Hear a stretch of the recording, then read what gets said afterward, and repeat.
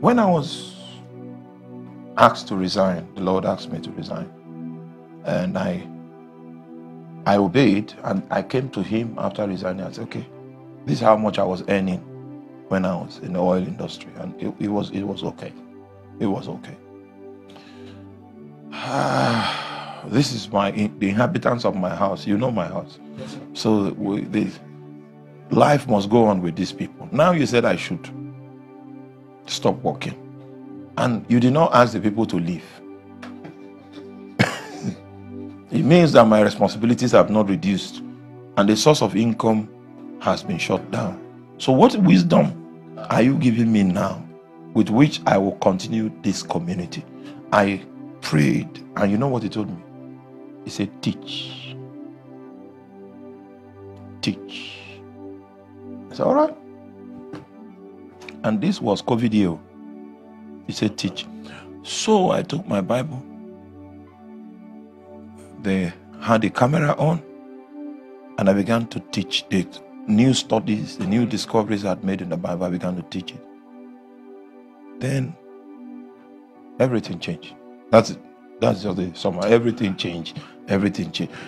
Who, who would have told me that the key to my prosperity after I resigned was teach.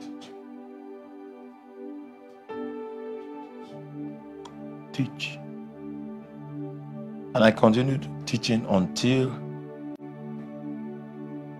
I was given the opportunity to teach a president. Still teaching. Yes. I opened the scriptures and I prophesied through scripture. A country this year now has invited, I'm on the program of that country in September. Yes, to come to them. Yes, the whole nation. What I was told is that I will have the opportunity to speak to 5 million people. So I'm crossing the million mark this year. Just doing what he said, teach. Teach. See, many of us think there's a solution somewhere. No, it's, it's in your spirit. See, if you know this power, this power, this power can make your mind live and you will know what to do. Yes, you will know what to do you will know what to do. He did not leave us helpless. Stay with him. Stay with him until you hear his voice.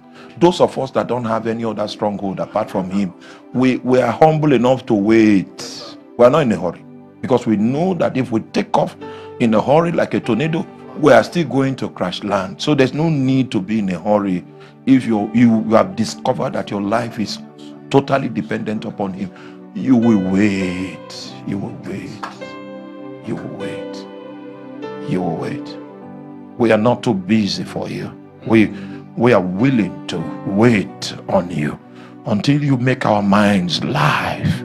Was it not you that wrote in the scriptures? Come, let us reason together. There's an invitation for your mind to come into the wavelength of his thoughts so that you can drink of his wisdom, the wisdom by which he does his things.